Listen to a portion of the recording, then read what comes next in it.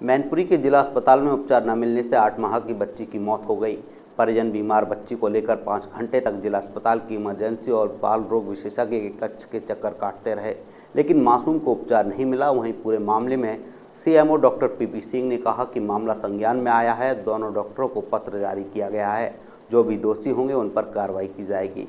अभी संज्ञान में ये मामला आया नहीं है। जैसे भी संज्ञान में आएगा तो जो भी इसमें दोषी होंगे कर्मचारी अधिकारी जाँच करा करके उनके खिलाफ कड़ी कार्रवाई की जाएगी। ये बच्चा इसका पेट फूला था मैं लेके गई सुबह इनने सुनवाई नहीं की मेरी।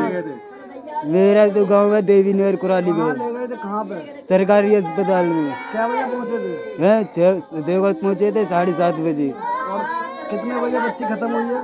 जहाँ अभी खत्म हुई है। हाँ? अभी खत्म हुई है।